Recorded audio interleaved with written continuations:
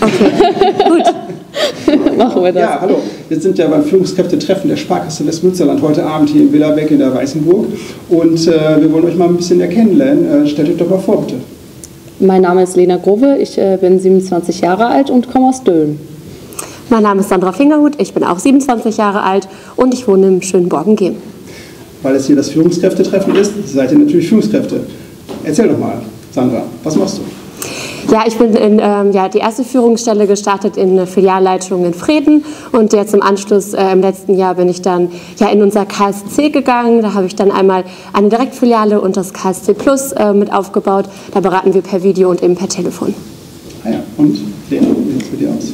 Ich äh, bin letztes Jahr im Mai gestartet in, im Zentralbereich Kredit, äh, speziell in der Gruppe Komplex Spezial im Kreditmanagement. Ähm, diese Aufgabe wurde neu äh, aufgelegt, äh, beziehungsweise meine Gruppe wurde neu rausgebracht mit der Umstrukturierung und es macht sehr viel Spaß. War es schon immer so der Plan, genau diese Stelle ähm, zu haben oder etwas Vergleichbares? Oder wie hat sich dieser Weg dahin äh, entwickelt?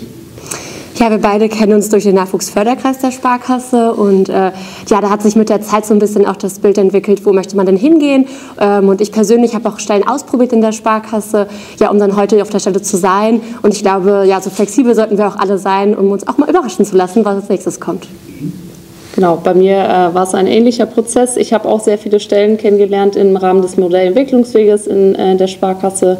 Äh, bin zuletzt in der Kreditanalyse gewesen, habe aber für mich selbst erkannt, dass ich gerne eine Position haben möchte, in der ich was bewegen kann, etwas verändern kann. Und äh, das war für mich dann der nächste Schritt zu sagen, ich möchte gerne Führungskraft werden. Was waren denn bisher die Highlights in der Sparkassenlaufbahn? Ja, also es gibt eben ganz verschiedene Highlights, sowohl kleine als auch große Highlights.